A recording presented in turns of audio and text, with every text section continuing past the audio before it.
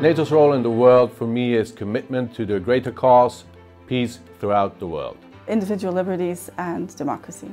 We are there to keep our population, our world safe and in peace. They're the values that affect ordinary people, ordinary men and women in the street, children who want to grow up quite simply with, with freedom. It's as simple as that.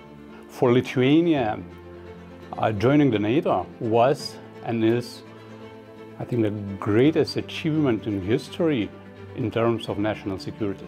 NATO strengthened by bringing different uh, backgrounds together, different people from different cultures, from different militaries in order to, you know, build one strong unit.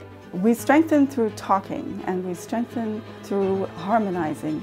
NATO protects uh, through collective defense, which mainly means aggression to one is an aggression to all. Being uh, part of a group that stands up for, for the rule of law, for democracy and, and for human rights. Um, so it protects in many ways, but always through acting together as one. NATO unites us through giving us the, the forum to, to come together as, as countries to make sure that our efforts and our intentions are coordinated. The world is uh, sometimes a difficult and dangerous place and to have so many countries acting in unison with shared goals and shared uh, aims is a very valuable commodity. The most important thing about having an alliance like NATO is to basically show that we are unified in making the world a better place.